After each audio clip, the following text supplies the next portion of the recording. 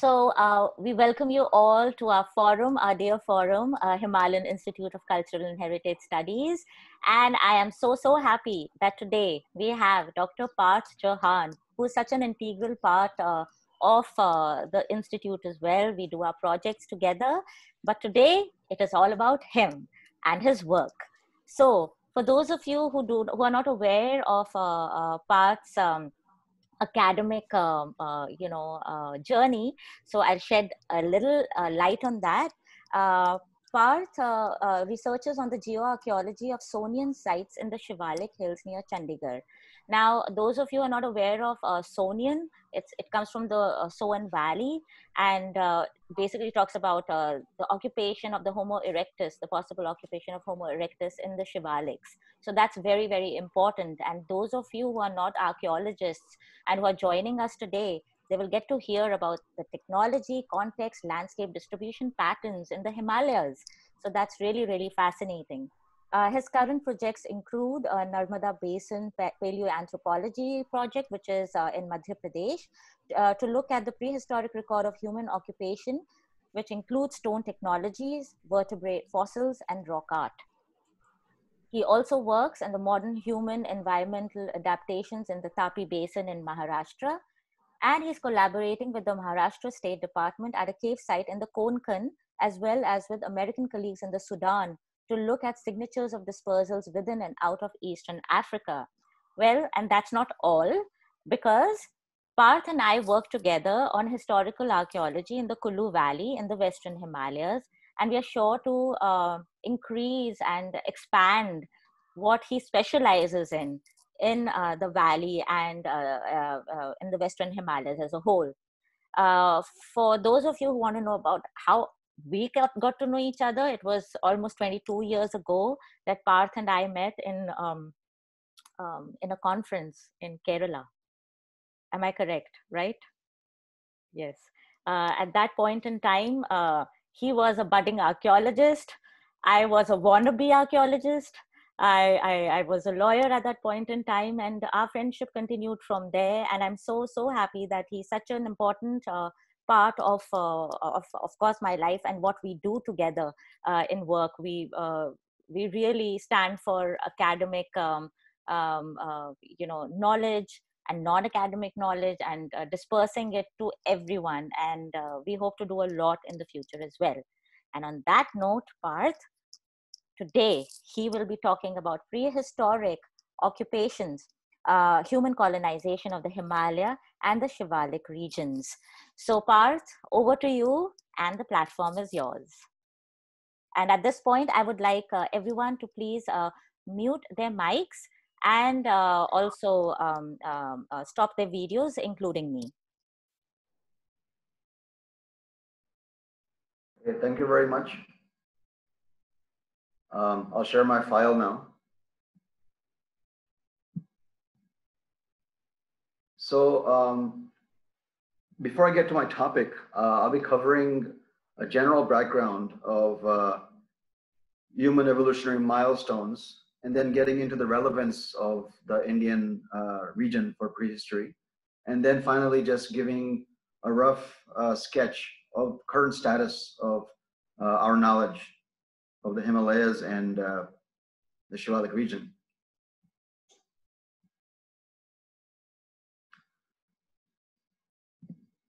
So just for people who are not familiar with this uh, time period, I'll just give you a little background. Uh, prehistory basically defines the time of human existence before the invention of writing. But language existed, uh, whether it was uh, complex or simple, and communication existed as well and I'll tell you the, the actual time brackets as well. And then protohistory is an intermediate phase between prehistory and history. And basically it's characterized by the beginning of domestication uh, of plants and animals and widespread agriculture and settlement uh, of uh, villages. And then we have historical period, which is basically since the use of extensive writing.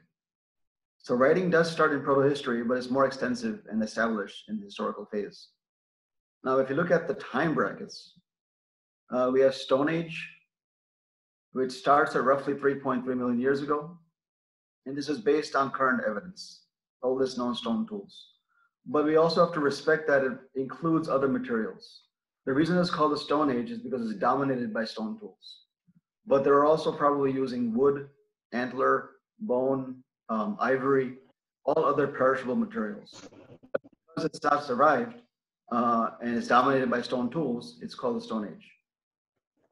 And stone tools, in fact, continue uh, up to modern day times. And then we have the Bronze Age, which is about 5,000 years ago onwards. And it's the beginning of the use of tin and copper, zinc, and then bronze. And then the Iron Age roughly starts around 1500 BC. So again, I would like to highlight that stone tool use continues and bronze also continues. So older technologies continue uh, into younger time periods, younger cultural phases. Now, where do we get our information from?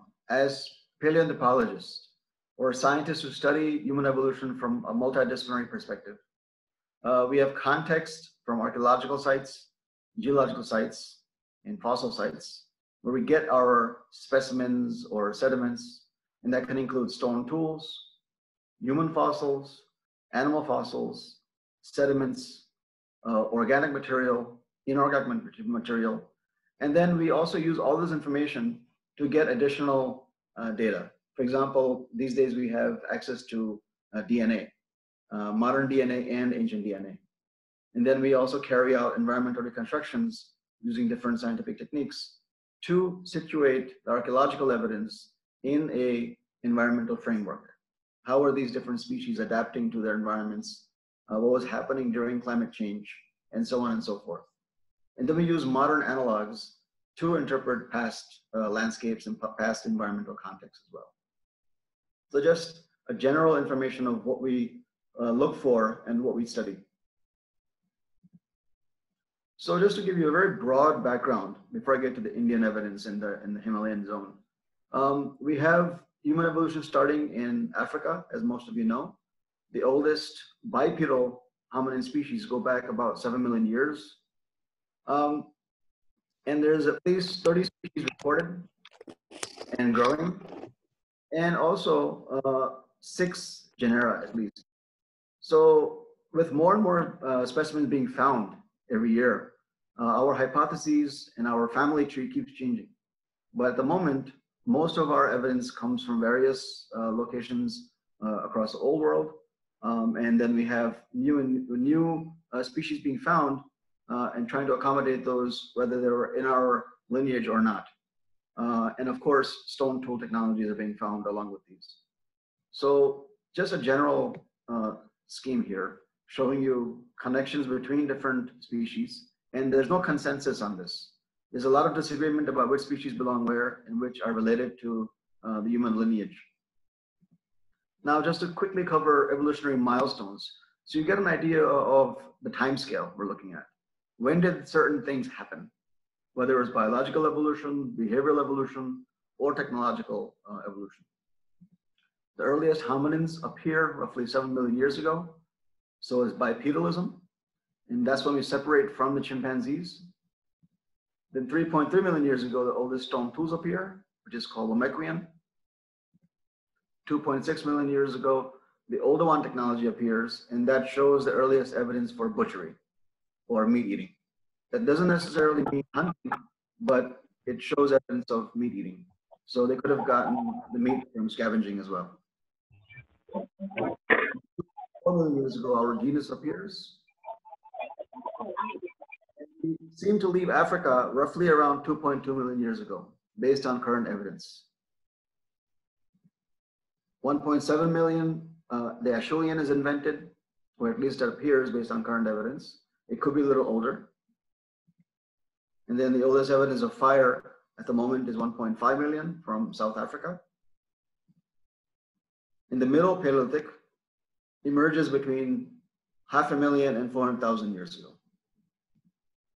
And then many of you are familiar with Neanderthals. They evolve or appear in Europe independently around 400, 350,000 years ago. Represent uh, having the oldest uh, burials, about 100,000 years, 130. And this species is the first one to have this uh, behavior uh, before uh, Homo sapiens for now. Uh, and this is also the beginning of the earliest symbolic behavior. And then our species appears roughly at the same time in Africa. And then uh, our species reaches Europe 200,000 years ago, which is Levant after that. And then China, based all on fossil evidence, by 100,000 years ago. Small artifacts called microliths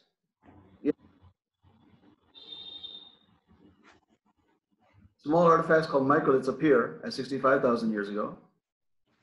Then Homo sapien arrives again, second dispersal, and replaces Neanderthal. ज्यादा लोग नहीं है And then 50,000 years to 25,000 years ago, Homo floresiensis and Neanderthals become extinct. So there are various factors why they become extinct, and there's a lot of debates whether Homo sapiens was responsible or not. And then we have the oldest microliths in Eurasia, which are actually in uh, Sri Lanka and India at the moment. And the Mesolithic Neolithic transition occurs 10,000 years ago. So the beginning of domestication, pastoralism, agriculture starts, the Neolithic phase. Just a very broad overview. Um, the earliest evidence of ornamentation at the moment is about 120,000 years old in the Levant and Africa. So they're making shell beads. And this is assumed to uh, belong to uh, Homo sapiens. And then possibly the oldest known paintings made by Neanderthals, in fact, uh, at least 65,000 years old. This is a little controversial, but it's reported, so we have to uh, follow it. Then we have other forms of uh, symbolic behavior. Engravings, for example, on ochre, 77,000 years ago in South Africa, on these ostrich eggshell fragments uh, in various locations across the world, including India. This is uh, top left is a specimen from Patna, and that's 25,000 years old. The ones on the, on the bottom are 60,000 years old. So these are all different uh, evidences of symbolic behavior. And then when Homo sapien reaches Europe for the second time, around 45 to 50,000 years ago, gradually there's another symbolic uh, behavior explosion uh, in terms of figurines, paintings, engravings, uh, various other behaviors. Use of ochre. And then between 20,000 and 18,000, we have the oldest pottery in uh, Eastern uh, Asia. Very, very simple handmade pottery. And then also pestle and mortars appear. So this basically shows the beginning of food processing and food storage because the populations are increasing, they're harvesting more and more food and long-term storage is there. And then finally, uh, humans get to the North American zone and then South American zone, uh, possibly around 20,000 years ago. The most common route is from west to east through Siberia, but there's also been hypotheses offered from east to west, from uh, Europe to eastern coast of the US. Uh, there is one site that is supposed to be supposedly uh, 130,000 years old in California, but again, it's controversial. And then after that, we have many, many dispersals. So basically, in sum, we have multiple dispersals of different species going in different directions from Africa and, and taking with them different technologies. And of course, uh, adapted to different, different environments. Uh, so some species die out, some species continue, but ultimately, uh, Homo sapiens is the one that becomes dominant and replaces all other species at a global level. So these are different technologies that appear, stone tools basically. And on the left, we have the timings of invention. And on the right, we have timings of dispersal from Africa. And if you notice, um, Lomekwian is there at 3.3 million. And there's nothing between 3.3 and 2.6 at the moment. No archaeology is known. But from 2.6 million onwards, it's a continuous record everywhere, more or less. And there's multiple dispersals sometimes of the same technology, like Acheulean, uh, you notice, out of Africa, 2A, 2B. Um, and then Homo sapiens disperses multiple times with different technologies. And once these technologies become established in Europe, in India, in China, then they follow their own trajectories. So the younger technologies have multiple origins, while the older technologies seem to have possibly single origins uh, within Africa. Now, why is the Indian subcontinent uh, or India important for global understanding global human evolution? One thing is that it's in the center of the old world. It links the records of Africa, Europe, and Eastern Asia. But whether it was used as a corridor uh, from west to east and east to west is a different issue. But at the, at the moment, biogeographically, is in the center of the old world. Then stone tools were discovered here roughly at the same time as in Europe, 1800s. Very early, historically. There's continuous human occupation since 1.5 million, maybe even earlier, and preserves technologies from all prehistoric phases. There's no missing uh, cultural uh, uh, phases. Various animal species existed, and some of them are very distinct or uh, indigenous uh, to this region. But human evolution has not been uh, studied that much compared to other zones. Uh, it's a historical reason, and there's various other limitations like lack of funding uh, and popular interest in younger time periods. There's many, many factors for this, many explanations. Uh, and there's also a lack of adequate human fossils compared to Africa, China, Europe, and also absolute ages for sites. We have thousands of sites, but we don't know how old they are. And if you don't know how old they are, we cannot talk about relationships with other regions and dispersal events and timings of arrival, timings of innovations. And this is the only known non-Homo or pre-Homo sapien uh, fossil from Narmada Valley. Uh, it's probably erectus, even though it's not clear exactly because of the uh, fragmentary nature of it. But and the age is also not clear. But this is the only uh, well-known cranium we have. So looking at the first dispersal, hominins get to Eastern Asia or Eastern China by 2.1 million. They get to uh, the European zone, Dmanisi, 1.8 million. In Southeast Asia, about 1.5 million. So you can see uh, they get all, to all these regions very early, soon after they appear in Africa.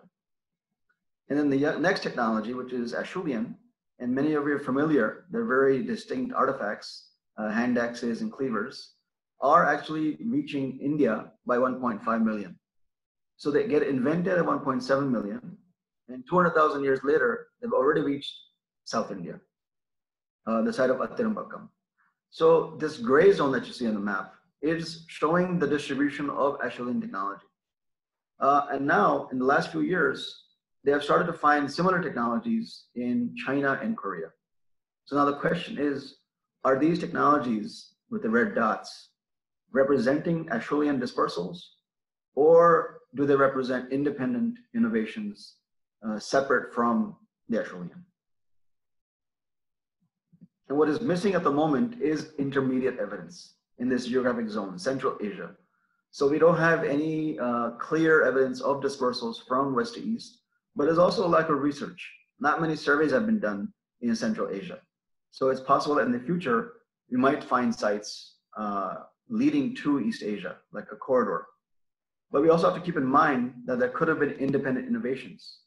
And a third possibility is that they could have been both a mixture of incoming dispersals from the West and uh, independent innovations. Because Oldowan technology had already established itself in Eastern Asia and other places. Um, and also, we don't know whether they went through India or only Central Asia or both routes were taken. We don't know this for sure. But one thing is clear that Acheulean is very, very marginal at the moment uh, outside this gray zone. Then we come to India. And if you look at this map, why does Acheulean technology end in India or appear to end in India? Is because of various biogeographic features. Here we have a map of the subcontinent. The red line is the boundary for Acheulean hand axes and cleavers. Uh, the Movius line, as, as has been called. And on the bottom, with these green zones, uh, Kerala, southern Tamil Nadu, and Sri Lanka. These are also places where no Acheulean is known. Now, if you look at it uh, ecologically, topographically, and uh, geographically, we have the Tibetan Plateau, very high elevation zone. Uh, the oldest prehistoric evidence there is about uh, now 130,000 uh, uh, years old. And following that, it's about 45,000 years old. But Acheulean is much older. So maybe it's possible Acheulean did not get there or adapt high elevation environments. In the, the Himalaya, as a topographic barrier, the Ganga Plains, and this is considered a barrier in a way uh, because it, it lacks suitable raw material. It lacks rocks for making uh, stone tools. But it's possible that many of the sites are actually buried underneath the uh, Ganga alluvium, and sites were uh, present. And then we have the northeast zone, which is actually different from rest of uh, central and peninsular India. It's hilly, it's thick, has thick vegetation, it's tropical environment, and uh, it, it is very humid. So Acheulean sites are not found in these kind of environments in other parts of the world and India. So just like South India and Sri Lanka, Northeast India uh, might have been avoided by Acheulean hominins uh, or by Paleolithic populations in general. Uh, and they were probably dispersed to East Asia via Central Asia. Maybe whatever populations came into India just ended up staying uh, or even migrating back out uh, westwards, but not going eastwards. This is just a hypothesis based on current evidence. So in terms of modern humans, when do they first arrive and what technology do they bring with them? The fossil evidence suggests 38,000 based on uh, fossils in Sri Lanka. And then microliths, which is also associated with Homo sapiens, says 48,000. And genetic evidence of modern hunter-gatherers or modern tribal groups suggests an arrival of about 60 to 65,000. And some researchers are saying that Middle Paleolithic uh, assemblages at some sites, uh, 77,000 and onwards up to about 120,000, uh, the Middle Paleolithic might have been brought in by Homo sapiens. But now this has been challenged in a way by a new discovery recently of an older Middle Paleolithic, going back to 385,000. And this is contemporary now uh, with evidence in Africa, evidence in Europe, and Levant. So the transition from Lower Paleolithic to Middle Paleolithic is kind of happening uh, at the same time all across the old world. And this is again coming from uh, the side of Attirampakkam. It has the oldest Acheulean outside of Africa, and it seems to have one of the earliest uh, Middle Paleolithic assemblages outside of Africa at the moment. So that kind of uh, questions things. It's possible that the earlier Middle Paleolithic was made by uh, something uh, older than Homo sapiens, and the younger Middle Paleolithic could have been made by Homo sapiens, or all of it could have been made by archaics, and then microliths were the first one, the first technology brought in by uh, Homo sapiens. So we don't know until we find more fossils, until we get more dates, we excavate more sites. And between this time period, there's a lot of fluctuations in technology. Some sites have bifaces, like hand axes and cleavers. Some sites don't have them. Some sites have only small ones. Some sites have large ones. Uh, some sites have a mixture of assemblages. And a major question, a debate going on, is what was the impact of the Toba super eruption? Now we have this uh, volcanic eruption 74,000 years ago, and the volcano is in Sumatra, and all the ash, because of wind direction and the size of the volcanic eruption, got deposited in the intermediate uh, in the seas, as well as uh, across India. So it's been a debate about how much it affected ecology, and how did it affect human populations, and did it affect technological change or not? there's two sides, uh, minimal versus uh, more uh, impact. And the ash actually has been found all the way in South Africa and East Africa as well. Hippos and ostriches also become extinct 10,000 years ago. They were present across India. Um, and the causes of extinction are not clear. It could be a combination of climate change as well as human interference as I said, that uh, humans were exploiting the eggshells for food, for engravings, for water containers, uh, for making beads. So that could have impacted uh, ostrich populations over time and they became extinct. And we also have very few fossils, uh, very few human fossils compared to other regions. We just have this Narmada cranium that you see on the bottom, and everything younger than 38,000 belongs to Homo sapiens. It's found in India and Sri Lanka. The main reason for this is lack of uh, systematic surveys looking for human fossils, lack of experts in human fossils or human bones, and also the lack of right context for finding preservations of uh, human remains. Uh, you have animal remains, but you, finding human remains is a different issue in terms of context and strategy. And as I said, a lot of technologies from 100,000 years onwards are very diverse. There's an overlap between different technologies. Lower Paleolithic, Middle Paleolithic overlaps, then Middle and Upper overlaps, and then the Upper and Microlithic overlaps. So there's a lot of uh, mixture and overlap, and some technologies are missing in some regions of India. So we have technologies with bifaces, without bifaces. Some are blade dominated, some are microlithic and blade dominated. Some are exclusively microlithic. Uh, and 45,000 years ago, we have multiple sites uh, dated. Uh, for example, uh, Site 55 is Upper Paleolithic. Kalpi in Ganga Valley is Middle Paleolithic. And then microlithic site of Mehtakheri is also same age. So we have different technologies at this time. So it's not easy to assign hom, uh, uh, associate hominid species to the various technologies because they're, they're too diverse. And it's not clear if Homo sapiens was responsible for many of them. So there were multiple dispersals of Homo sapiens with different technologies over time, going in different directions out of Africa and using different routes. So we don't know when they reach uh, India. And when they left Africa, they encounter other species, which were there earlier from the earlier dispersals. So when they when they inter when they reach uh, Levant, they interbreed with Neanderthals. When they reach Central Asia, they might have interbred with Denisovans. So we have this evidence from uh, fossils. We have this evidence from genetics of modern populations, genetics from fossils. So there's a lot of different now growing evidence of this interbreeding. And the interbreeding probably happened in Africa also, all over the world. And now we come to the Himalaya. I wanted to give this broad overview so you can understand the Himalayan uh, evidence better and understand, appreciate, uh, interpret the Shivalik evidence better. So the Shivalik zone, as you can see in the gray area, is parallel with the Himalaya. And there's a geological and geographic reason for that. Now, before I get to the actual formation of Shivalik Hills, uh, I would just like to highlight that the reason Shivalik Hills are famous is because of these fossils of Sivapithecus. They were found since 1800s, and then they started being found in Pakistan, uh, India, and Nepal in the Shivaliks. And in the beginning, it was thought that this is a possible human ancestor. So there was a lot of attention on the Shivaliks. And Shivaliks are also famous for um, yielding many, many uh, animal fossils, just like Narmada Valley.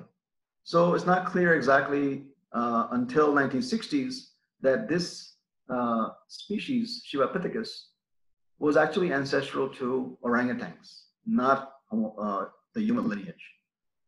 And but what is important is um, as they started finding more and more sites, they found out that it's a different, uh, it's an ape basically, not a hominin.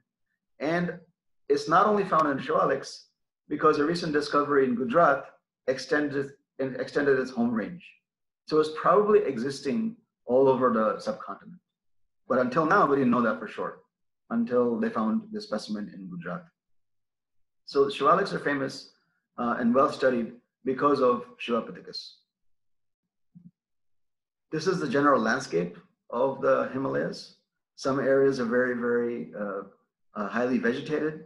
Some areas are very high relief some are low relief. Especially if you go from west to east, they become more thicker with vegetation. They become more and more higher and more rugged. Uh, towards the Pakistan side, the Shivalik hills are flat. But as you go eastwards, they become more high relief. And on the bottom, you see a photograph of the site of Masol showing a Badlands environment. So pockets of less vegetation, which yield uh, artifacts and fossils. And on the right, you have this sequence of different formation names.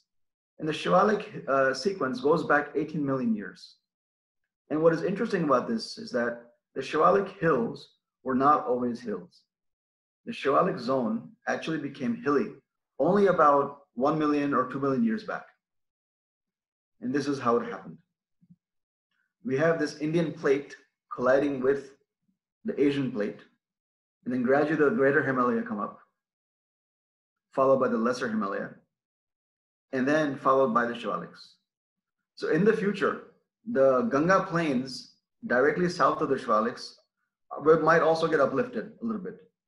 And all of them are uh, in sequence chronologically. So this shows how the Indian plate went under the Asian plate and uh, things got uplifted and erosion led to uh, uh all this, all these fossils and uh, artifacts uh, to be discovered. And here again, geographically, the gray area on the on the bottom, the Shivalik zone or sub-Himalayan zone, all the sediments came from the Himalaya. At one time, it was a huge basin, and then the uh, sediments came from the Himalaya, and then there was upliftment, and then the sediment intake stopped. So today we don't have continuous buildup of sediment because of the upliftment. So when it was uplifted, it affected animal life, which probably migrated, and the hominins were probably affected as well in some ways. So the Shivalik zone is basically dominated by two types of technologies, Acheulean and Soanian. Acheulean is uh, comprised of these pointed hand axes and cleavers. And the Soanian is dominated by these chopper tools and flake tools. You can see a huge difference in morphology, in technology, in size. And the Soanian was originally uh, named in 1930s by Deter Paterson when they worked in the Soan Valley of Pakistan. So based on this terrace sequence of the Soan River, they thought that they could identify change in technology over time. But later work in the 1980s by the British Archaeological Mission to Pakistan showed that these terraces were not reliable uh, for that sequence. They were more erosional terraces, not river terraces. So now the progression in Soanian is not accepted. But the Soanian is still recognized as a separate entity. Uh, it's a mysterious entity because there are no dates, there are no excavation, excavated sites. But now we're getting to uh, uh, know that there's a very interesting picture uh, in where these sites are found on the landscape. But this is when the historically is established as an independent uh, entity. These are some examples of Soanian tools. And the main characteristic is, is made on rounded rocks pebbles, cobbles, boulders. Uh, it mostly comprises choppers, scrapers, uh, cores, core fragments. Uh, very simple technology. It looks, in fact, very primitive at first glance, but it also includes assemblages with advanced types, like Middle Paleolithic uh, types. Um, so some assemblages look, look very simple, some assemblages look very advanced. So it's not clear exactly uh, the time frame. Here is the one of the sources of raw material, how ancient hominins might have actually collected uh, rounded rocks to make these artifacts. This is in a river uh, along the hills. And this is where how, how sites are situated, the Acheulean sites and the Soanian sites. So most, most Paleolithic sites are situated in the Shivaliks and mostly in the frontal zone, where the Shivaliks meet uh, the Indo-Gangetic plains. Uh, just now we're starting to get idea of uh, some of these technologies penetrating deeper into the Himalaya. But most sites are in the frontal zone. So here is a distribution map of Acheulean sites and Soanian sites. And as you can see, the Soanian sites are more abundant, mostly because of the nature of raw material. The cobbles and pebbles are more abundant, and the Acheulean sites are less abundant because the cobbles and pebbles were too small to make large hand axes and cleavers. And of course, not enough surveys have been done to clearly uh, know the actual distribution pattern. Here are some examples of Acheulean artifacts. Uh, and this is coming from the site of Atbarapur near Hoshiarpur. Again, a Shivalik frontal site, and this has typical uh, hand axes and cleavers. So probably made by Homo erectus, but we can't say for sure until we find fossils. And then we also have Acheulean coming from Nepal Shivaliks. And this work was done by Corvinus in the 1980s and 90s. And it put Nepal on the map of prehistory. Um, uh, she found hand axes on tilted Shivalik sediments, suggesting that occupation took place before the tectonic activity. So before the upliftment and tilting of the Shivaliks. And she found some other assemblages, younger Acheulean, in the Dun valleys of Nepal. So very complex history of uh, prehistoric occupation of the Shivalik zone in the Dun valleys. The Dun valleys in India have not yielded uh, but the Nepal Dun valleys have yielded Acheulean. So what we're trying to understand is, uh, in the absence of absolute dates, how can we look at the landscape to compare Acheulean and Soanian sites? Where do they occur on the landscape? In the frontal zone, interior zone, on the slopes, on the terraces. So depending on location of these sites, and depending on the artifact densities, the tool types present, the type of raw material associated, we're trying to get a picture of the relationship between them. Is one younger than the other? Or are some of them uh, contemporary? If they're contemporary, do they represent two different uh, cultural groups? Or do they represent two different species making them? What's going on exactly? How old is a Soanian? When do they start? How old is Acheulean? When does it start? When do these technologies end in time? Uh, how are they dispersing on the landscape? So there's many, many things we don't know actually. And we also try to understand land use patterns, whether they're going from the plains to the Dun valleys, where they're going from the Dun valleys into the higher Himalaya uh, at a seasonal level. So until we find artifacts, we can't say for sure, but we can use the geographic features such as uh, streams, uh, terraces, and other features to talk about dispersal routes and check particular areas for potential sites. But landscape archaeology uh, requires more and more uh, attributes to understand properly. Geological attributes, vegetation, elevation, drainage pattern, uh, archaeological patterning. So some places, the Shivalik sediments are horizontal, like this uh, location, for example. You see the different colored sediments. These are all belonging to uh, the Tatrot Formation going back to about 3 million, 4 million years old. And on these surfaces, we find artifacts on the bottom of the uh, slopes. Sometimes we find artifacts on top of the slopes. And various locations, we also find fossil bones. So in the past, the association of fossil bones and artifacts were misinterpreted to be contemporary. And they were thought to be representing evidence of Stone Age butchery. But then later on, uh, it was clear that there's something more uh, complex going on. Here we have tilted uh, sediments, where more tectonics have taken place. And this tectonic process is still ongoing. Here, this is an example of how sites were forming, Stone Age sites. So uh, number one shows the landscape before human occupation. Let's say uh, 4 million years ago, during Tatrot times. And then number two shows the site, same site during human occupation, let's say about 100,000 years ago.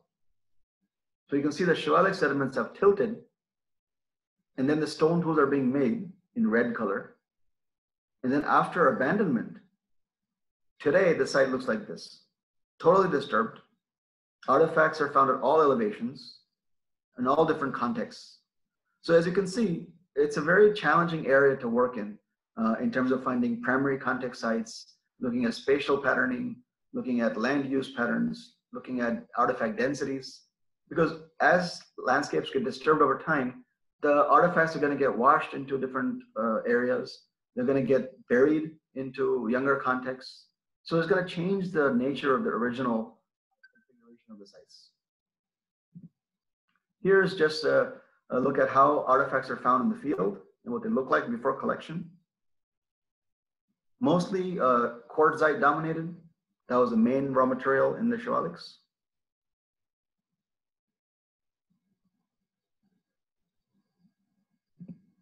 And this is how artifacts are found in association with fossils.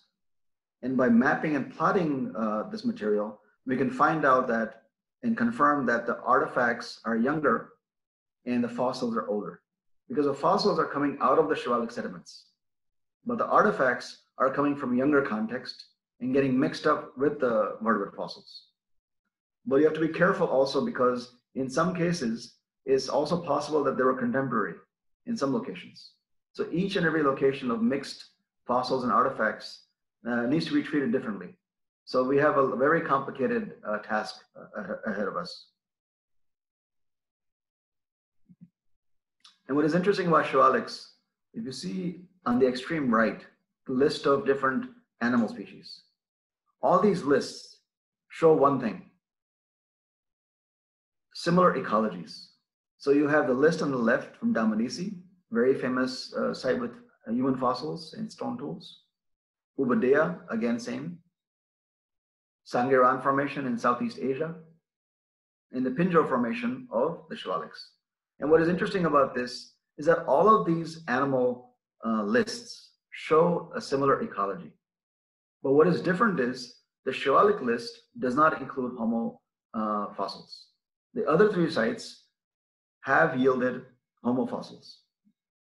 So it shows that there's a potential of finding human fossils in the Shivaliks because the ecology was similar to other sites in the old world. It was suitable for human occupation, for human habitation. The only problem is that uh, looking for this older evidence, if you want to look for 1 million year old artifacts, you need to look for 1 million year old sediments. The context has to be there. And those kind of contexts, older than 1 million, are very rare south of the Shivaliks. In central India and peninsular India, we just have a few pockets of these uh, contexts. But Shivaliks has a continuous sequence from 18 million to about half a million. So that's one of the best places to look for uh, older evidence, older than 1 million. So the question is whether there was Oldowan in South Asia. Did the earliest dispersals from Africa pass through India with these technologies? The earliest technology that leaves Africa is called Oldowan. And the sites have been reported from Shivalik Hills in the north and Narmada Valley in central India. I won't talk about the central Indian sites, but I'll talk about the uh, Shivalik sites.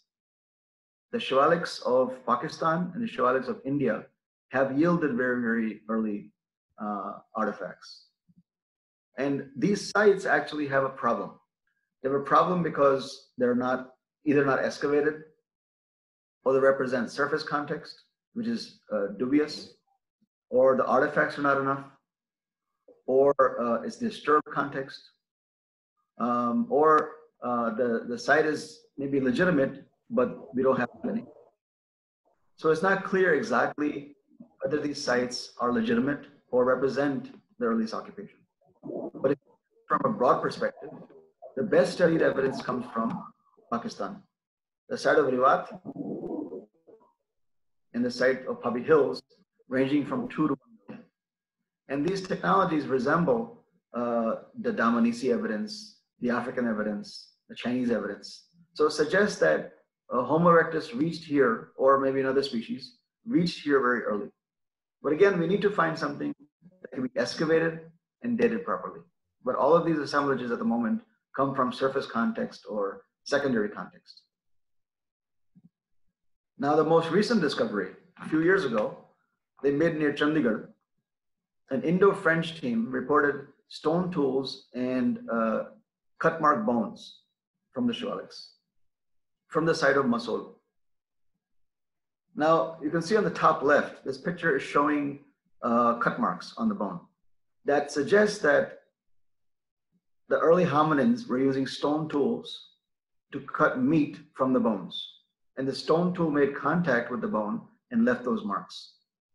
These kind of sites are found uh, frequently in Africa and China and Europe. but this is the first time somebody has reported this old in uh, India. Now, the problem is that we don't know if it's a primary context or disturbed context. Plus, most of the evidence, including the cut marks, uh, cut mark bones, come from surface context. The artifacts, again, we don't know if they're contemporary or younger than the fossils. And cut marks can also be made by other processes, by trampling by large animals, by the teeth of predators, by grinding against stones through water transport. There are many, many processes where ancient bones can get uh, abraded or get these marks that look like cut marks.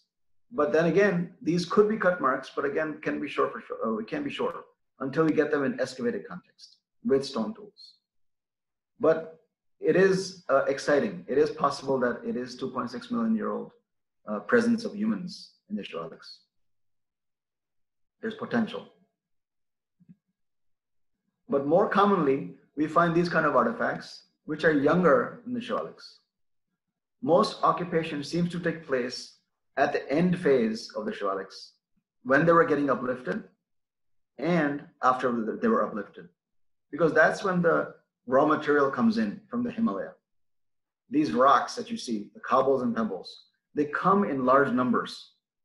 Uh, they're brought in by rivers, by slow processes, by tectonics. In large numbers, a huge amount of rocks over 1 million years are deposited on top of the Shivalik zone. So human occupation increases because of the availability of these rocks. The only problem is we don't know how old uh, these sites are. So these are typical Soanian artifacts. And if you look at it at a global perspective, what's happening at this time? Let's say uh, half a million years onwards, about 300,000 years onwards, when Homo sapien appears in Africa, uh, they start migrating to Europe, the Levant, China, possibly India. Then gradually they're interacting with uh, the Neanderthals, interacting with the Denisovans, various species. And if you look at the blue color on the map, that's actually the home range of the Neanderthals. And the purple area is where the Neanderthals and Homo sapiens mixed. So if you combine the blue and the purple, that's the entire home range of Neanderthals. And if you look at Teshik Tash, in Central Asia, that's very close to the Himalaya. So it's possible that the Neanderthals came very close to the Himalaya. Now, last year, scientists reported this fossil of the Denisovans from the Tibetan Plateau, over 3,000 meters in height, 130,000 years old, and earlier, this species was only known from Denisova cave from a finger bone. But they finally found these jaw fragments in a cave in Tibet. And if you look at the elevation, 3,000 uh, 3, meters, and the proximity to the Himalaya, it also suggests that Denisovans may have occupied the Himalayan zone. We need to find more sites with uh, fossils and artifacts to confirm this. But this suggests that there's more potential in the Himalayan zone for prehistoric occupation than we thought earlier. And similar artifacts that resemble uh, Neanderthal toolkits have been found in Pakistan, in the Thar Desert, in the Sindh region. So these artifacts have been reported by uh, Italians and, and Pakistani colleagues and they represent typical uh, Mousterian artifacts and Levallois technologies, which are associated with Neanderthals in Central Asia and Europe. So this could be the southeasternmost boundary of uh, Neanderthals uh, or similar uh, species making these technologies. In Nepal, we also have Middle Paleolithic, seems to be older than 30,000, again found by Corvinus. So Nepal also needs more research. And the intermediate zone between Nepal and, and uh, Punjab has not been properly studied. There's a lot of potential for finding new sites uh, that we don't know about, and also new technologies. So it's possible that multiple species were occupying these zones at different times. Then we have the site of uh, Site 55 in Pakistan, dating to 45,000 years old. So as you see that we have possible Oldowan assemblages, we have Acheulean assemblages, we have Middle Paleolithic occupation, we have Upper Paleolithic occupation across the Shivaliks and across the uh, middle zone of the Himalaya. This is the only well-dated site in the region, uh, in that Potwar uh, plateau. Now, just looking at rock art, because we have to look beyond stone tools. When we're looking at prehistory, we also have many other evidences, uh, not just fossils and stone tools. We also have rock art. So this distribution map of uh, plotted sites shows that the most of the rock art sites are in central India, eastern India, and South India. But if you look at the extreme top in the Himalayan zone, we have some sites uh, in the Himalayas as well. And these sites are dominated by the engravings or petroglyphs. These are, these are from Ladakh. And they're found at many locations, very well known now. And the other evidence, which is rare actually, are paintings near Almora. The paintings are very rare in uh, Himalaya, but the bruisings and engravings are more common but they're not found everywhere. So far, they're only uh, the Ladakh area in pockets here and there. It's not a continuous occurrence uh, along the Himalaya or along the uh, mountain zone.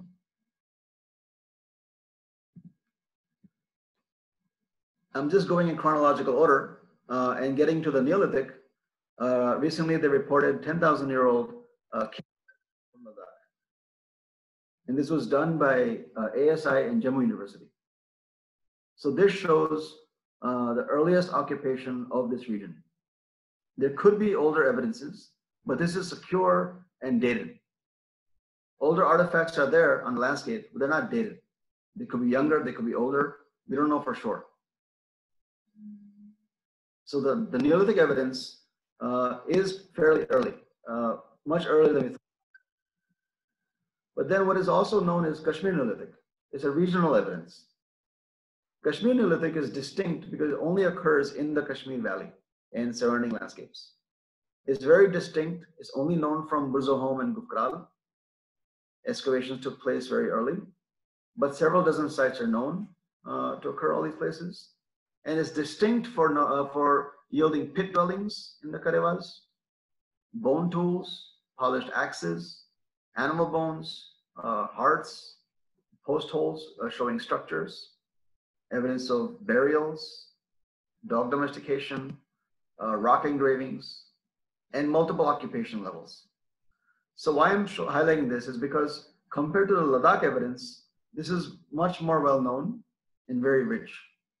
So it's possible that the Himalayan zone has a lengthy history of Neolithic occupation, and it was different everywhere. There were possibly different Neolithic cultures across time and space across the Himalaya. Some of them made uh, bruisings, some of them maybe did not make bruisings, uh, some of them uh, were focusing more on hunting, some more on domestication. The site, as it was excavated in 1930s by De Terra and Paterson, you can see the large trenches at the site and also the large stone structures erected in later time periods. On the bottom left, you can see the men here. And today, the site looks like this. A very distinct and unique location. These are the pit dwellings. So the floor of the habitation structure was below the ground surface about one meter below the ground surface. And then the rooftop was built. Human burials were also found there. These are all very well known, but only two have been excavated. So we need to excavate more sites. Dog burial.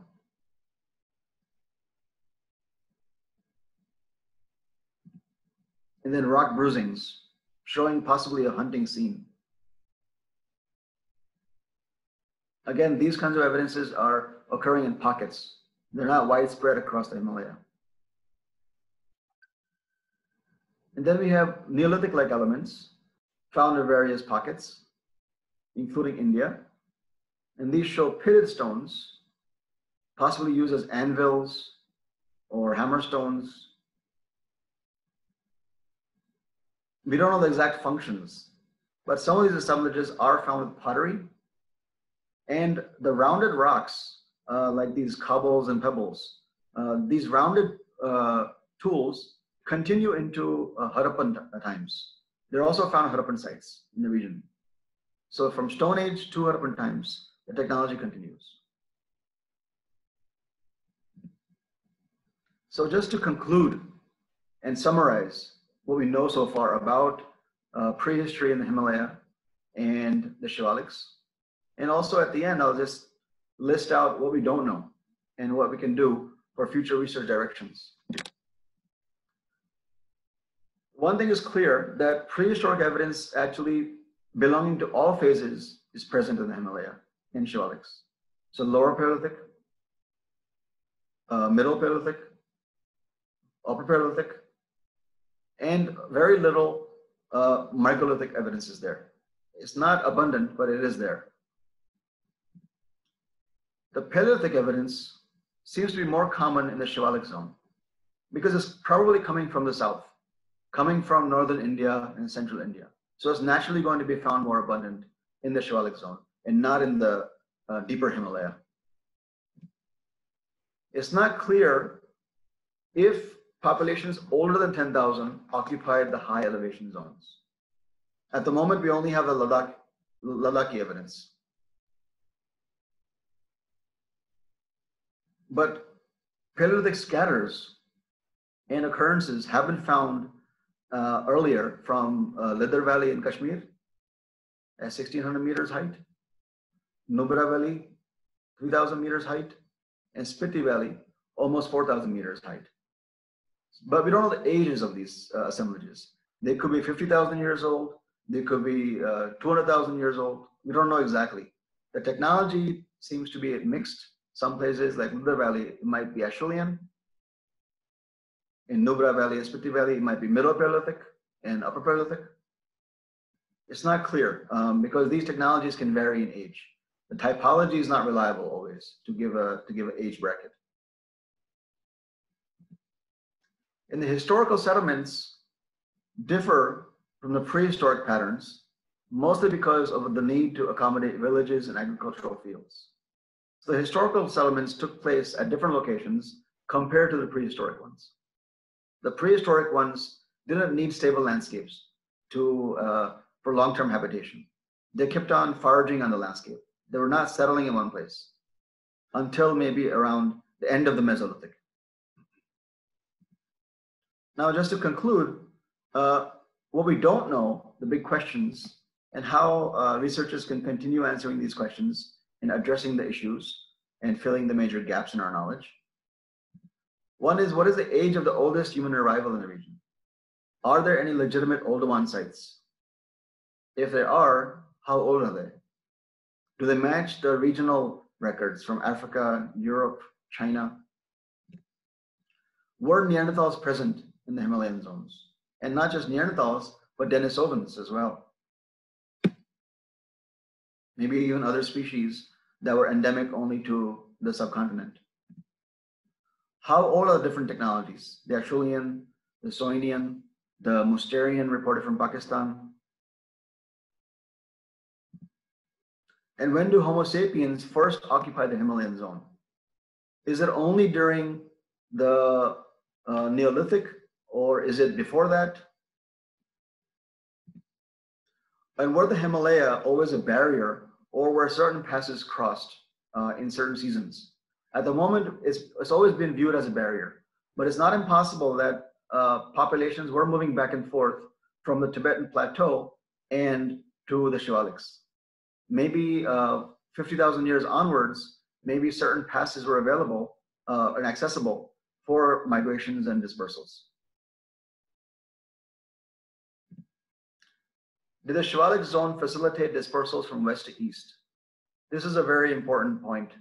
We don't know if populations continued eastwards out of India or they stopped at certain locations. They stopped in central Himalaya, for example, or they ended up in northeast India.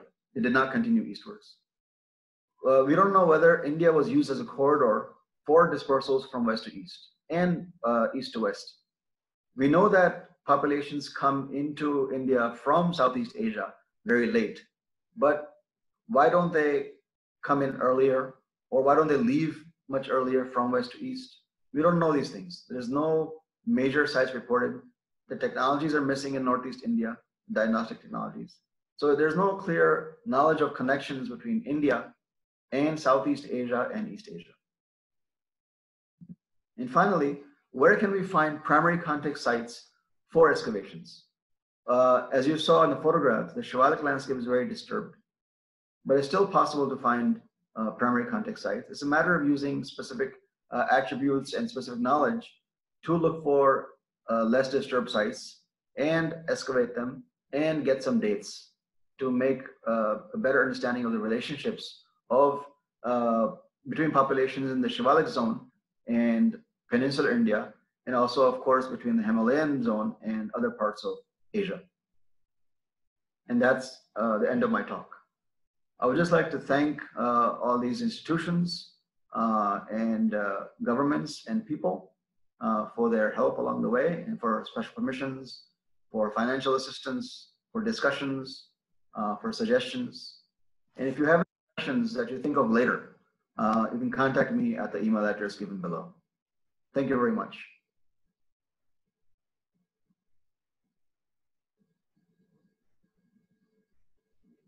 Thank you so much, Parth, for that wonderful lecture. Of course, you uh, now have us all uh, glued in more uh, to what's happening in the Himalayas in prehistory because so many of us you know it's a, such a technical side of uh, archaeology that a lot of people kind of shy away from it. And with your lecture you've made it so simple in understanding it uh, of such a repository of research. So we thank you for that. And um, uh, i have a question and in the meantime uh, those of you who have questions please raise your hands and i'll take it in the order they come in and my first uh, question is uh, Parth, you know, the recent discovery in Ethiopia, uh, at, in Afar, where uh, the cranium was found in relation to the uh, Acheulean and the Oldowan tools. And that kind of takes away uh, putting one species with one tool kind of a thing, right? And you did tell us that uh, crania haven't really been found except the one uh, that was initially found. So do you see that with more research and more funding if such a scenario would uh, uh emerge what are what is your opinion about it? You know like every time you know a new discovery is made it just changes everything about what we know. And we have to like get new editions of the book. And i feel that it's really uh, happening at a faster uh, pace in prehistory than in any other field. So if you could uh, shed light on that. Yes, I do certainly think there is potential uh, because research has not been done that much. Uh, we, if, even if you get funding, the only problem is the challenge, the logistical challenge of finding the right sites, the finding the right context, getting into the interior zones to look for sites, uh, finding the right dispersal routes, for example. So we can use modern technologies today available uh, and new dating techniques as well uh, to survey for sites. But I think that um, I think we should not view the Himalayan zone or even the Indian zone as a homogeneous unit. I think we should expect diversity in archaeological evidence along the Himalaya as well. From uh, the Western Himalaya, Central Himalaya, and Eastern zone, we should expect different signatures and different histories and possibly different species uh, occupying these zones at different times. But there's a lot of potential. There's a lot of potential. So we need to expand on that for sure, especially in the Western Himalayas as well. Now that we work there, we really need to explore and uh, with you, of course. That's the main entry point for populations coming in. Yeah, yeah. So, okay, so we have three hands that are raised. And before I take Amal, Amal, you'll be the, uh, the first one to ask your question. I'm also launching a poll uh, so I've never done the poll on this thing. So if it kind of distorts things, uh, my apologies. So the poll is on lecture time that suits better, 8 p.m. IST or 7 p.m. IST. So if you could all participate in that. And uh, Amal, over to you with your question. Yes, uh, uh, thank you for your lecture Parth. It was a very good session and uh, i was wondering whether uh, you meant in the in your presentations and slides it was shown in the figures that the uh, i mean the dispersion process began from africa right right right so oh, what, what what was the basis on that was you know uh, how how what how do you justify that their propagation started from Africa? Um, at the moment, we're going by available evidence.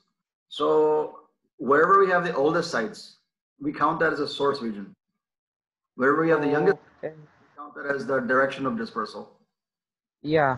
So what was what was bugging me was that we have so many ancient texts like Mahabharata and Ramayana, for example, and it shows that the Aryan culture actually and the aryan culture was propagating from russia right and in the text they say that um, the bad so would you would you like would you suggest or would you refer this kind of text for this um the talk the evidence i was talking about actually it predates the aryan uh, culture oh, Okay, okay, okay. So for younger periods, let's say we're talking about uh, protohistoric onwards, protohistoric and historical periods, texts to find uh, ancient places, to find uh, certain, certain geographic hints, for example, to locate sites.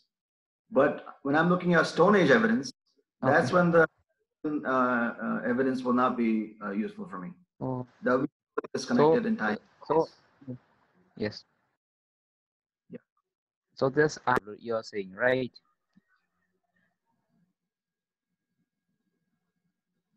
Hello? Yeah. Hello? Yes. Uh, so, uh, uh, so you, you you found evidences from the Stone Age period, but uh, have you found anything related to this Aryan period? No. I mean, I was just uh, curious enough. No. okay. No, no, no, no. I don't work on that time period. Yeah, so Amal, uh, the Aryan period is much later. This is prehistory, uh, much earlier, much earlier. Okay. So uh, we'll take the next question. Tanya, over to you. Oh, Tanya, oh, very sure, happy sure. to very happy to see you. Uh, Tanya was our student, Parth and I. So um, yeah, over Hi. to you, Tanya. Yeah. Hi, Dr. Nice hearing you talk again. Uh, yeah. Um, I was a little curious about when you were talking about the Shivalik region and how um, you know the you about how the three steps you showed and how the, you're not sure if the primary you what you are finding is in its primary context. So you only spoke about finding stone tools and how there's a potential or a possibility of finding uh, fossils over there. I was wondering if you found any other kind of evidence to suggest that besides the stone tools you know, like botanical remains or anything like that? No, normally uh, we will look for botanical remains after finding the stone tools. Okay. Those will be the first hint. Hmm. Uh, and of course, animal fossils. So these two things are the primary evidences we look for. Uh, some human activity or some kind of uh, uh, landscape or ecological situation. And then let's say that we find a primary site, uh, then we excavate it. Then we would collect the sediments from the excavations and process for the plant evidence. All right. Okay. Reconstruct the past habitat. Got it. Okay. Thanks. Thank you. Over to uh, Aniket, Dr. Aniket Alam. You can take on the mic now. Yeah, hi. Just call me Aniket. Yeah, that's fine. Uh, thank you, okay. Uh, I'm also going to call you just Parth. It's, I think, uh, much easier than this honorific. It was excellent. I've uh, always been sort of reading up about these things, but never, you know, um, I'm not a archaeologist and somehow as a historian, especially a modern history, it's always a bit of a um, uh, you know, there's a there's a mental block I think we guys have about uh, accessing uh, prehistory.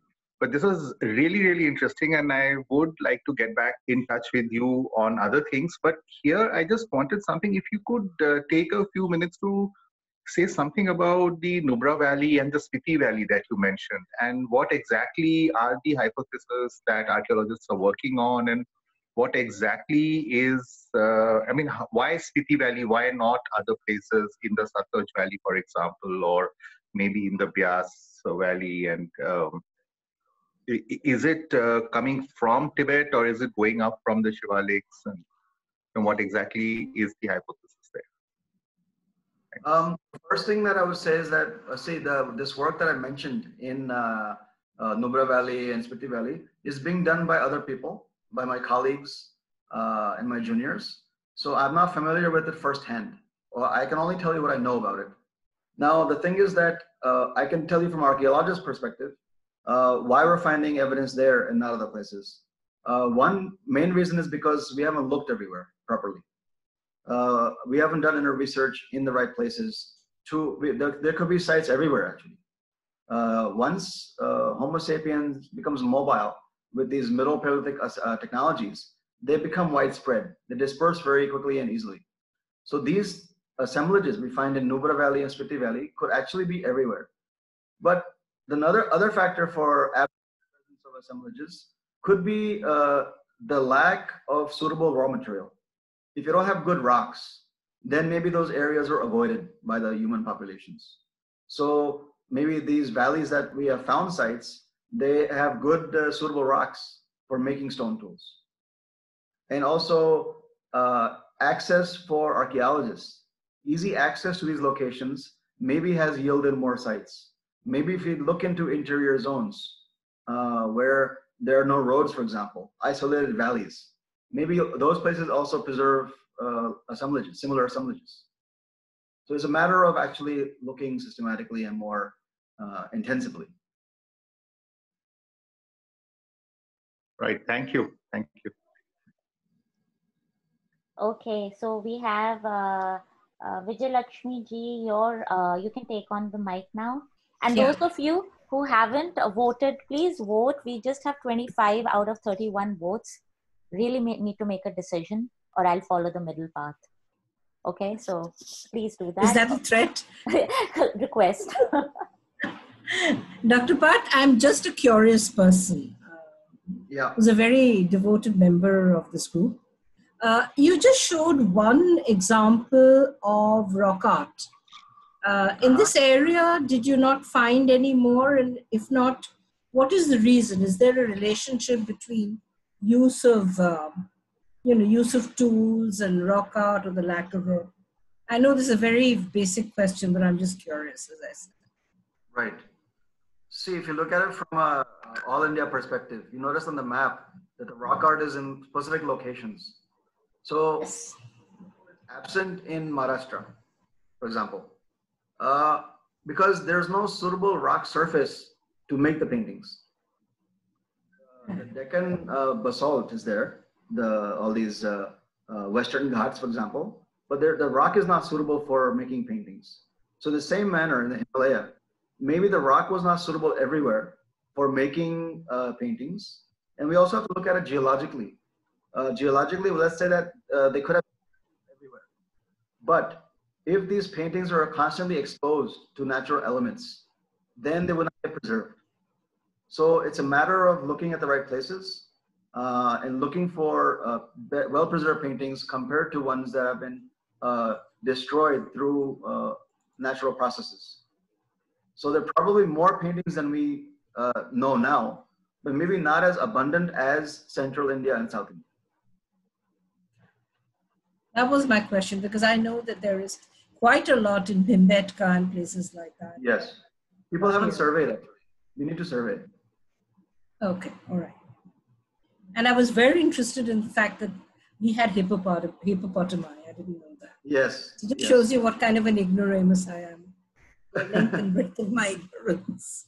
But thank you, that was wonderful. So, Parth, I have a question. Uh, when we talk about like Paleolithic, of course, that's and uh, uh, we are on the quest of the Paleolithic uh, and, and, trying to understand and discern things. But also, when it comes to the Neolithic, uh, we, we, know about Burzahom in Kashmir.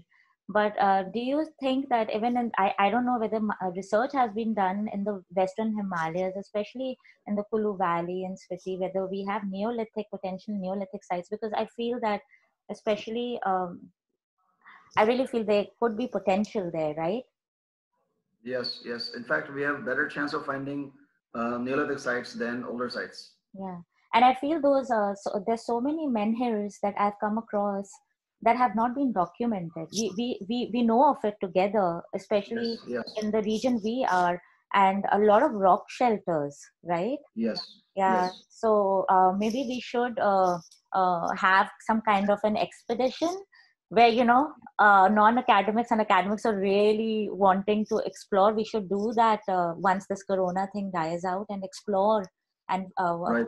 document these places. Especially uh, when we are talking earlier about uh, looking at the routes that the shepherds are taking. Exactly. these routes used for thousands of years. Yeah. There might be archaeological signatures along those routes that people have not checked yet.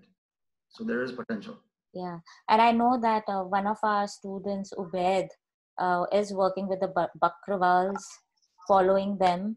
And there are many others as well. So it would be very interesting to take uh, on the and even talk to dr kaushal about things that she has seen while working with the gaddis and uh, you know talk to them because memory is so important this memory of um, things of their uh, ancestors it may be like divorced by time like a very significant portion of time but uh, at least those uh, trails you know they would have markers which in the memory of right. these people would still be alive so right. Yeah okay uh, any more questions questions in the in the chat box i think oh they are I think so. Uh, okay so those who have given questions in the chat box it would be wonderful if you could raise your hands because it's really difficult to scroll up and find those. Please, would you do that for us, please? Uh, I know I'm getting a lot of uh, this thing about not having a third option for my poll because I didn't want to give a third option. So, uh, yes, can, can uh, should I just call out the names? Yeah. Okay, just a second. It's very difficult for me to scroll up for some reason. Parth, would you mind doing that? Wait, wait, I can, I, I've got a handle on it now. Okay. Um,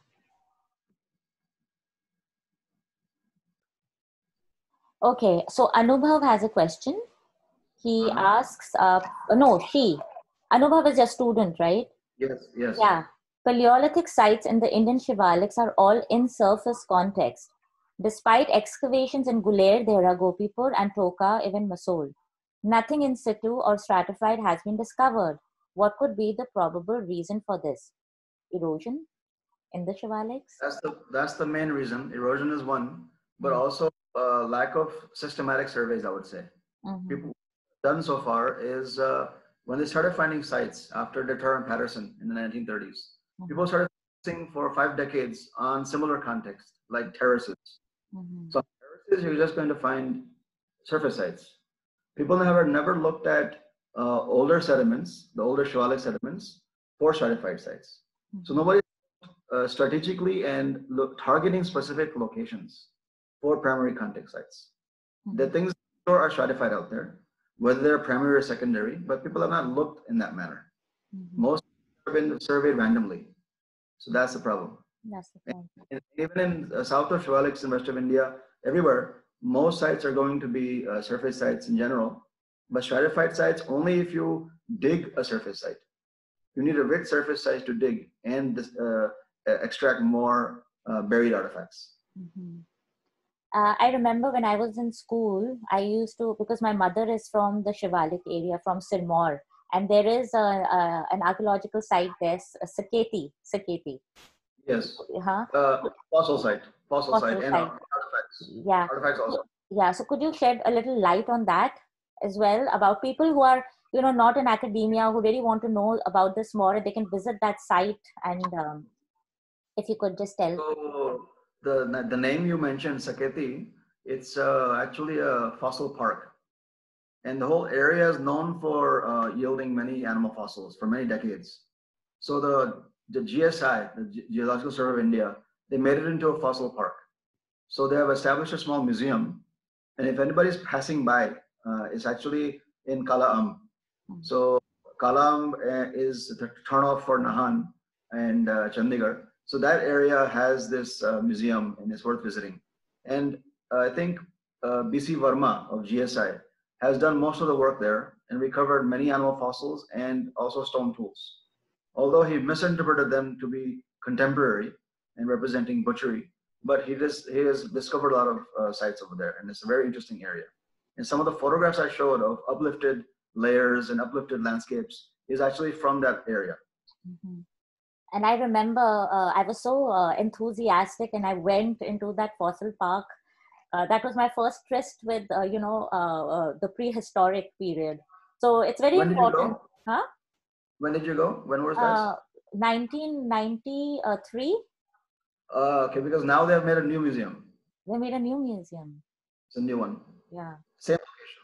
It's much better. Yeah. I, I thought of myself as an archaeologist back then when i was in school so I was just busy. I was like, I'm going to do make a discovery. And it's so important for those of you who really want to be a part of all of this. Just go and you know, discoveries can be made by anyone.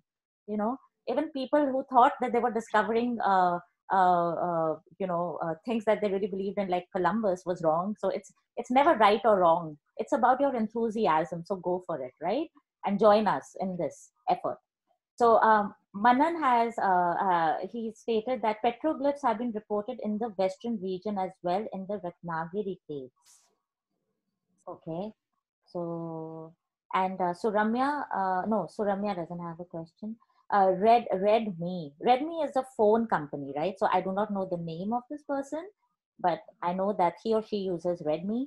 Uh, is there a possibility of finding sites in inner regions like Chamba in Himachal Pradesh? That's the question.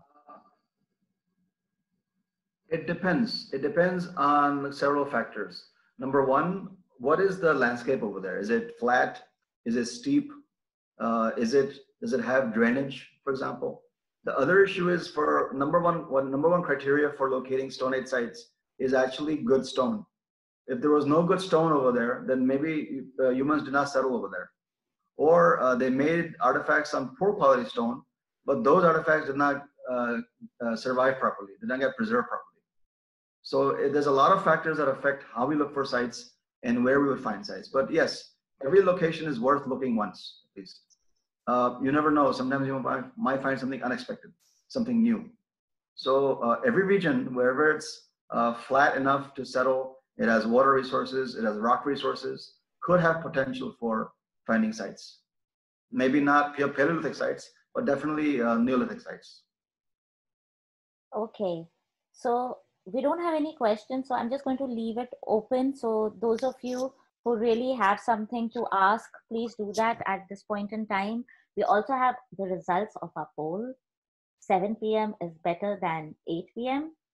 58% uh, voted for 7 p.m. and 42% for 8 p.m. Not too much of a difference so should we just follow the middle path and take 7.30 instead? What do you say, Parth? Uh, I'm fine with anything. My schedule is flexible. Okay.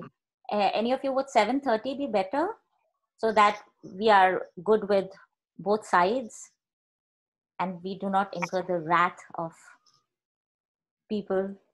So we'll go for 7.30 every Sunday. Okay, so I'm getting a thumbs up and yeses. Yeah. And of course, uh, in the past uh, week, we discussed that a lot of you gave suggestions of uh, probable topics that you would want. So I'm taking, uh, I and Parth uh, both together are taking those things into consideration. And uh, we will be curating that list and sharing, sharing it with you shortly. so if you have any more questions, please, you can take on the floor. Um,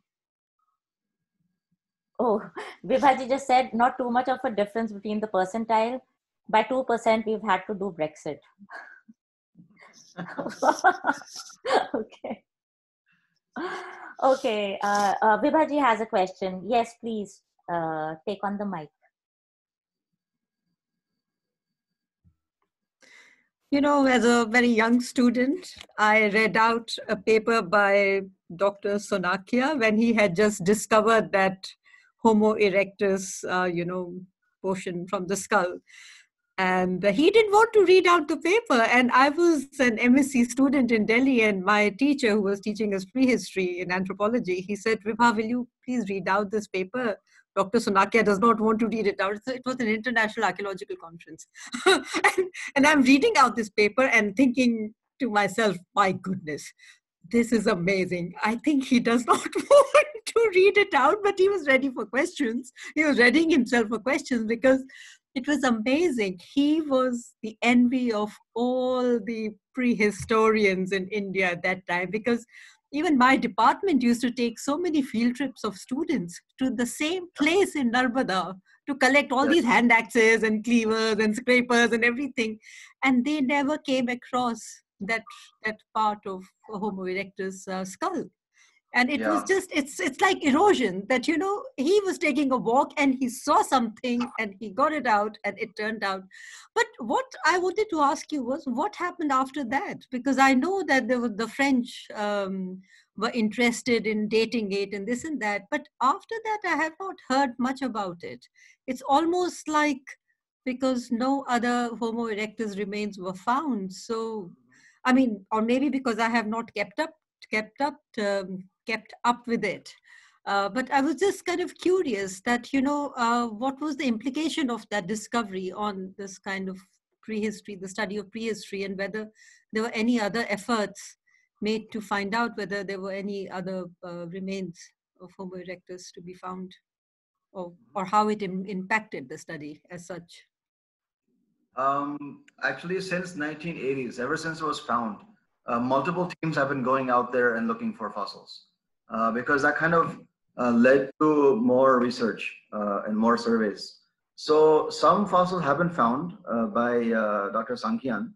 Mm-hmm. He has found a collarbone, the clavicle. He has found some rib fragments, maybe some leg fra- leg bone fragments. Okay. But it's not clear the age of these specimens, the taxonomic affinities. These things are not clear. they have been found from different locations around Hathnoda.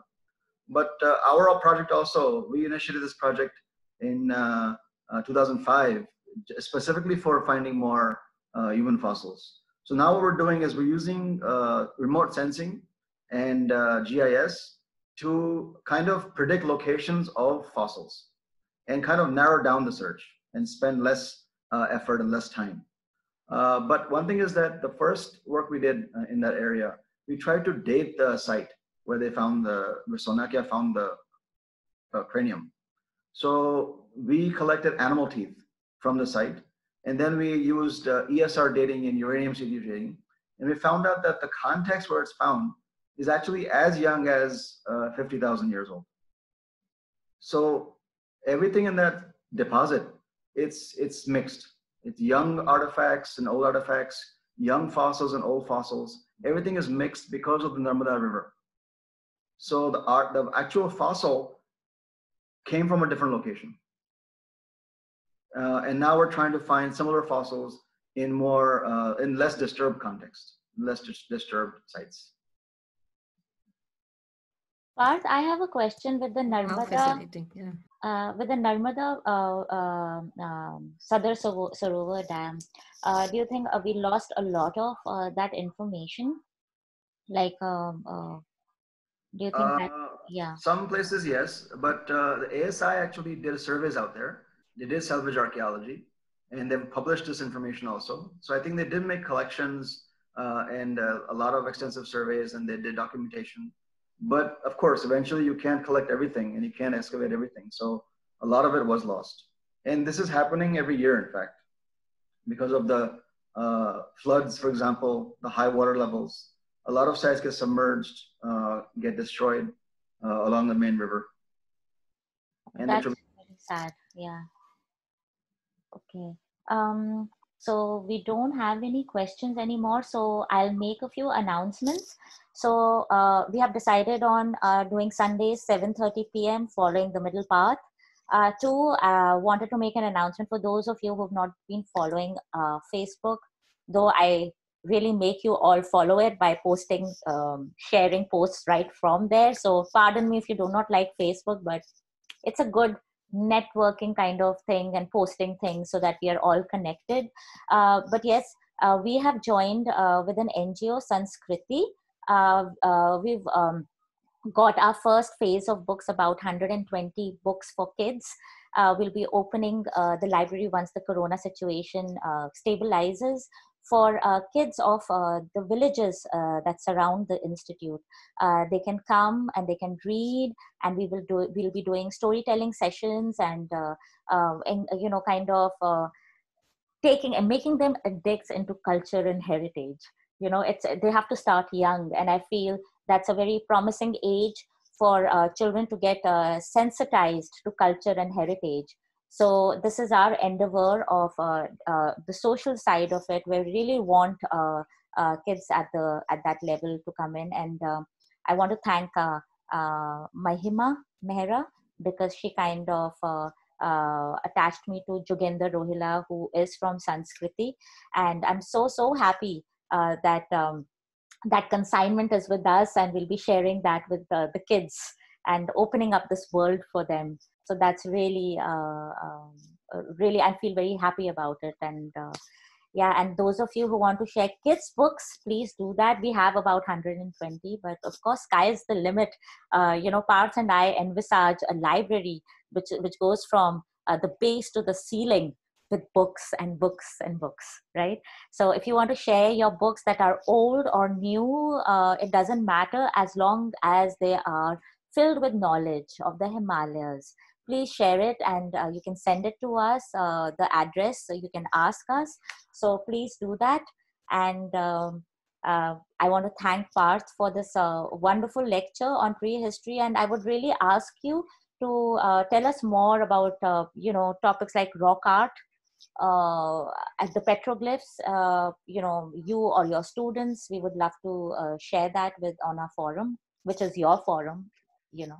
So thank you so much, Parth. And um, uh, please let us know if you have questions. You can write to Parth, you can write to me, and you can write to all other admins uh, who are uh, uh on the forum. And please uh, share uh, views on our interaction page on Facebook. That's a place for interacting. I also want to thank Vibhaji. She, whenever she, she sees a post which is not relevant, if it's totally political on the uh, on our uh, institute page, she just you know uh, uh, uh tags it. So uh, thank thank you for keeping a watch on that, and thank you all for being here today. And next Sunday we'll meet at seven thirty, and I'll make an announcement of of the speaker it could be me it could be anyone so that's a mystery. So thank you so much and have a wonderful evening. Thank you for giving me this opportunity and thank you everyone for listening. Bye. Bye. Good night. Good morning. Good night good morning everyone. Bye